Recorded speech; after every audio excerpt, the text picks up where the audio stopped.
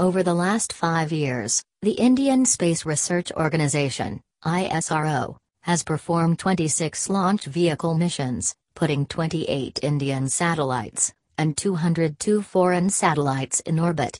Although ISRO has gained recognition for launching small satellites, it lacks the ability to launch communication satellites heavier than 4 metric tons. The Indian Space Research Organisation, ISRO, has started work on developing an electric propulsion system with a higher thrust level, which can reduce the dependence on chemical propellant, the Indian government said on Wednesday. Unlike chemical propulsion, electric propulsion is not limited in energy and can send a spacecraft further out at a low level thrust with very little mass. Currently, ISRO is dependent on foreign facilities located in Ariane, French Guiana, to launch heavier satellites.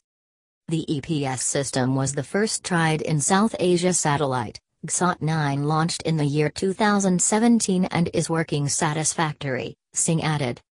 ISRO is striving to increase the thrust level of electronic propulsion that presently hovers at below 300 millinewtons with this low thrust level. Any spacecraft will have to wait up to 6 months to slowly reach its destination.